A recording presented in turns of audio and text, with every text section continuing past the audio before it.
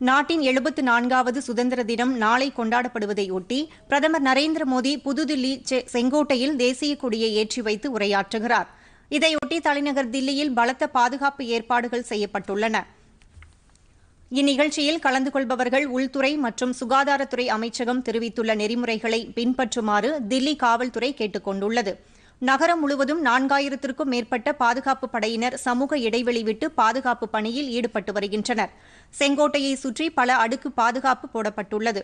தில்லியில் பாதுகாப்பு கருதி சிறிய ரக விமானம் ராட்சத பலூன் ஆகியவை பறப்பதற்கும் நாளை வரை தடை விதிக்கப்பட்டுள்ளது.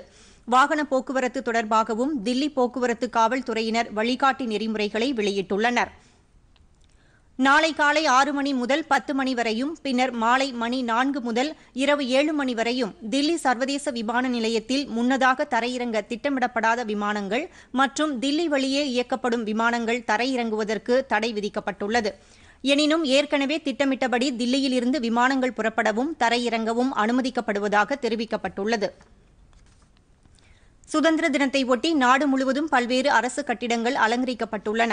உத்தரப்பிரதேச மாநில சட்டப்பேரவையை சுற்றி மின் விளக்குகள் ஒளிரும் வகையில் அமைக்கப்பட்டுள்ளன. லடாக் பகுதியில் சுதந்திர தின அணிவகுப்பு ஒத்திகையில் வீரர்கள் சமூக இடைவெளி விட்டு கலந்து கொண்டனர்.